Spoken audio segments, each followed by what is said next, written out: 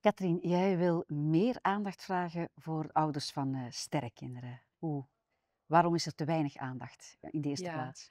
Uh, geboorte en zwangerschap, dat is meestal een feest. En vaak vergeten we dat het soms ook niet goed eindigt en dat er een zwangerschapsverlies komt. En daar heerst nog altijd heel veel taboe rond. En ik heb in mijn parlementair werk de voorbije jaren al heel vaak ondervonden dat mensen die dat meemaken, dat die een heel diep verdriet met zich meedragen en dat zij echt erkenning nodig hebben.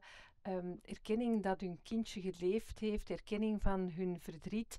En uh, ik vind dat politiek vaak uh, heel veel bezig is met heel zware uh, economische thema's en zo, maar dat diep menselijke, dat vergeten we vaak. Ook vanuit het beleid je daar wel heel wat in kan doen. En ik heb daar de voorbije jaren echt al proberen werk van te maken. Mm -hmm. Zo heb ik er onder meer voor gezorgd dat ouders van sterrenkindjes, dat die uh, altijd de keuze kunnen maken om hun, hun sterrenkindje te cremeren of te laten begraven, ongeacht de duur van de zwangerschap. Verdriet laat zich niet afmeten aan hoe lang een zwangerschap geduurd heeft. En vroeger was dat niet. En uit reacties uh, zie je dan dat dat helend kan werken. En als we daar soms met kleine beslissingen aan kunnen helpen bij mensen, dan moeten we dat absoluut doen. Zeker. En wat zijn nog van die uh, uh, plannen die jullie daar Er zijn nog, hebben? nog heel wat zaken die we voor hen ook uh, kunnen verbeteren. Bijvoorbeeld um, zorgen dat er in elke gemeente een sterretjesweide is of een vlinderboom. Dus iets waar ze, waarnaar ze, waar ze terecht kunnen. Iedereen maakt zelf die keuze vanzelfsprekend, mm -hmm. maar het kan helpen bij het, uh, bij het trouwen. Er zijn nu een aantal gemeenten die recent een sterrenregister hebben geopend, waar je kindje kan laten registreren. Het is niet verplicht, er zijn geen juridische gevolgen, maar we zouden dat overal moeten hebben. In mijn eigen gemeente hebben we dat enkele maanden geleden gedaan, als eerste gemeente in de provincie Antwerpen.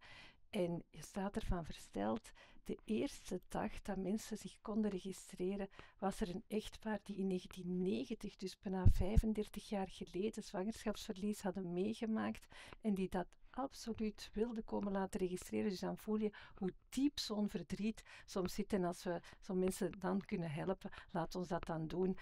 Um, ik wil ook absoluut verder werk maken van bijvoorbeeld rouwverlof uh, bij zwangerschapsverlies. Ook mm -hmm. op de werkvloer is er nog heel veel, veel taboe rond. Uh, mensen mm -hmm. durven er niet over praten of um, praten er op de verkeerde manier over. Hè. Zo van, ja, oké, okay, de volgende keer zal het wel lukken. Hè. De, deze keer is het, niet ge, is, is het misgelopen, maar ongetwijfeld uh, uh, heb je de volgende keer wel een, gezonde, een, een zo, gezond kindje en een goede zwangerschap. Dat is niet wat ouders willen horen. Helemaal mm. niet. En als ze naar de dokter gaan en ze krijgen ziekteverlof, ja, het is natuurlijk geen ziekte, het is rouwen. En we mm -hmm. moeten hen daar ook de tijd voor geven. Dus laat hen ook rouwverlof toekennen. We wilden ook, willen ook dat kindjes um, vanaf 140 dagen zwangerschap ook altijd een familienaam en een voornaam kunnen krijgen. Dat ouders daar ook op die manier over kunnen spreken en dat ze ook op die manier geregistreerd zijn.